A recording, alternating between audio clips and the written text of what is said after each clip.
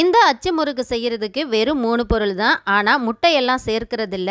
நம்ம வீட்டில் இருக்கக்கூடிய ஒரு சில பொருட்களை பயன்படுத்தி ரொம்ப ரொம்ப சுலபமான முறையில் குறைந்த செலவில் மொறுமொறு அச்சு முறுக்கு சுலபமாக எப்படி செய்கிறதுன்னு பார்க்கலாம். வாங்க வெல்கம் டு சல்கஸ் கிச்சன் இப்போ நம்ம அச்சு முறுக்கு செய்கிறதுக்காக இந்த கப்பு அளவு எடுத்திருக்கேன். இந்த கப்பில் அரை கப் அளவு சுகர் சேர்த்துட்டு அது கூடவே மூணு ஏலக்காவும் சேர்த்துட்டு நல்லா இந்த மாதிரி பவுட்ரு மாதிரி அரைச்சிட்டு வந்துடுங்க இப்போ இது இருக்கட்டும்.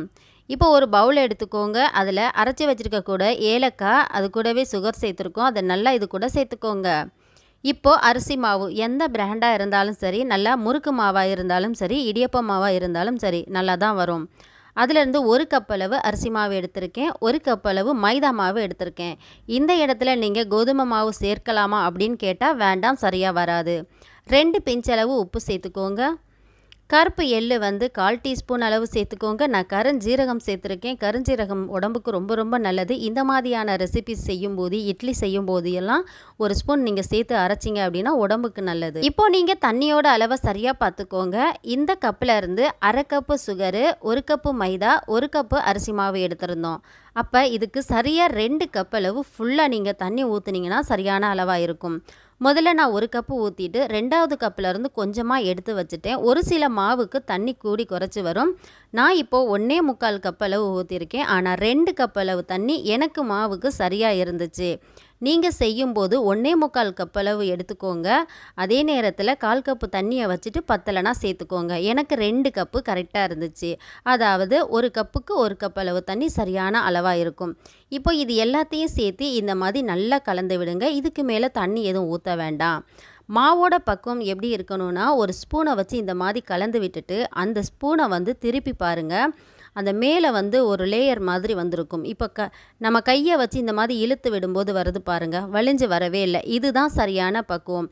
இப்படி செய்யும்போது அச்சு முறுக்கில் கரெக்டாக வந்து அந்த அச்சில் ஒட்டி நமக்கு சரியான அச்சு முறுக்கு கிடைக்கும். இதுக்கு மேலே தண்ணி ஒரு துளி கூட ஊற்றக்கூடாது ஆயில் வந்து அளவுக்கு அதிகமான ஹீட் இருக்கக்கூடாது. இப்போ அச்சுக்கு வந்து நான் வந்து இரும்பு அச்சு எல்லாம் எடுக்கலை. நான்ஸ்டிக்கில் தான் எடுத்திருக்கேன். எப்போவுமே நான் இது தான் எடுத்துக்குவேன்.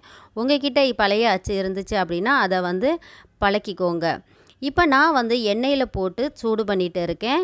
எப்போ ஆயில் ஊற்றுறோமோ அது கூடவே நம்ம அச்சையும் சேர்த்து வந்து சூடு பண்ணிடணும் இப்போ நல்லா வந்து அச்சு வந்து நல்லா சூடாயிருச்சு. செய்கிறதுக்கு முன்னாடி மாவை வந்து ஒரு களை கலந்து விடணும். அப்போ தான் வந்து கீழே கெட்டிகள் இல்லாமல் இருக்கும். அந்த அச்சுக்கு மேலே வந்து வந்துடவே கூடாது. கரெக்டாக அந்த அச்சுக்கு கீழே இருக்கணும். ஒருவேளை மேலே வந்துருச்சு அப்படின்னா கண்டிப்பாக அந்த முறுக்கு வந்து கீழே வெளியில் வரவே வராது. அந்த அச்சு முறுக்கு அப்படியே நம்ம அந்த அச்சிலேயே ஒட்டிக்கிறோம். ஒரு துளி அளவு கூட மேலே வந்து ஒட்டிடக்கூடாது. அதுக்கப்புறமா இந்த மாதிரி ஏதாவது ஒரு குச்சி எடுத்துக்கோங்க. அப்படி இல்லைன்னா கூர்மையான கத்தி எடுத்து இந்த மாதிரி லைட்டாக எடுத்து விடுங்க.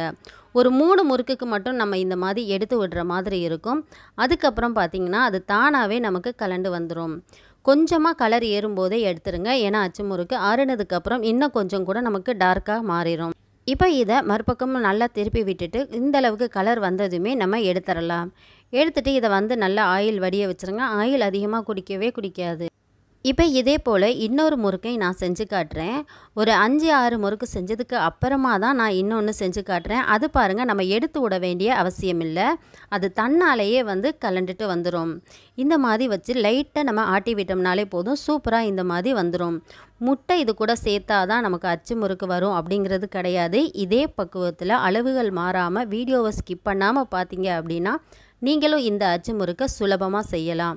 நல்ல மொறு மொறுன்னு இருக்கும். கண்டிப்பாக இதே பக்குவத்தில் நீங்களும் ட்ரை பண்ணி பாருங்கள் இப்போ ஒரே ஒரு அச்சு முறுக்கு எடுத்து நான் உடச்சி காட்டுறேன் பாருங்கள் எந்த அளவுக்கு மொறுமொறுப்பு தன்மை இருக்குது அப்படிங்கிறதும் உங்களுக்கே தெரியும். கையில் வச்சு அமுக்கும்போது அப்படியே நமக்கு எல்லாமே நொறுங்கி வருது பாருங்கள் நல்ல மொறுமொறுப்பாக இருந்துச்சு. அளவான ஸ்வீட்டாக இருந்துச்சு.